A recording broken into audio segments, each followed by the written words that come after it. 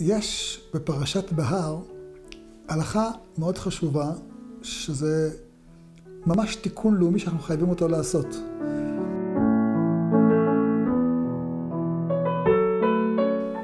התורה אומרת, נקרא לכם,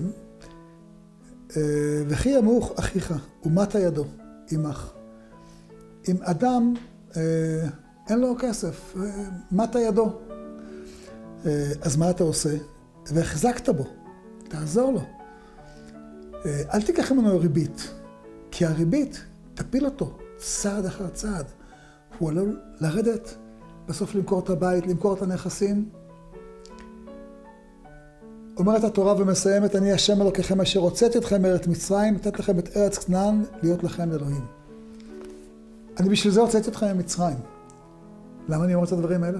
כי לצערנו, היום במדינת ישראל, כמו בהרבה מקומות אחרים בעולם, אם אדם אין לו כסף, הולך לבנק, הוא מקבל הלוואה, הוא משלם ריבית.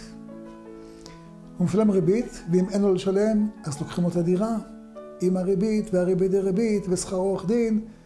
ואני מכיר חבר, שהיה לו כסף לקנות דירה, והמחיר של הדירות היה זול לפי מה שנראה לו.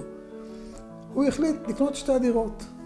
בכסף של, של מחיר דירה אחת, הוא קנה שתי דירות, לקח משכנתה מהבנק, התחיל לשלם, כנראה לא העריך נכון את היכולת שלו לשלם, פוטר מהעבודה, לא כך עמד במשכנתה, וקיבל התראה ועוד התראה, ואז הבנק יום אחד אומר לו, חביבי, אתה לא שילמת את המשכנתה, יש לך ריבית, תשלם.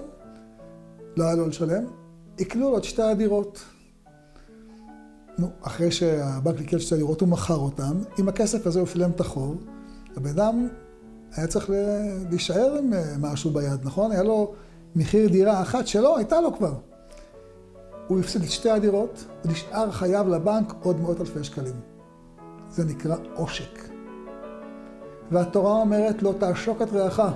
הלוואה לא נותנה כדי, לא, לא, לא נועדה כדי שמנהלי הבנקים יקבלו משכורות עתק של מאה אלף שקל בחודש, או משהו מהסוג הזה. לא, לא, לא ולא. לא ולא, זה משחית גם אותם. התורה אומרת, מותר לך לקחת ריבית רק כשזו עסקה אמיתית, לא כשאתה עושק את השני. וזה עושק. ואת זה צריך לתקן, ואפשר לתקן. יש בעולם בנקים שלא לוקחים ריבית, לא עושקים את האדם האחר, ומתפרנסים, ומרוויחים יפה, ויש משכורות לא משוגעות. יש משכורות. ואחד הבנקים האלה קיבל פרס נובל לשלום. זה דבר שיכול להיות, וצריכים לתקן את התקנה הזאת. וזו תקנה שאנחנו חייבים לתקן בתוכנו. איך נהיה אור לגויים אם אנחנו מאפשרים עושק כזה בעם ישראל? זאת אחריות של כל אחד מאיתנו. נעשה ונצליח. רגע של חוכמה, רגעים קצרים ומשנה חיים. הצטרפו אלינו, הרשמו לערוצי רגע של חוכמה ביוטיוב, בפייסבוק, באינסטגרם ובוואטסאפ.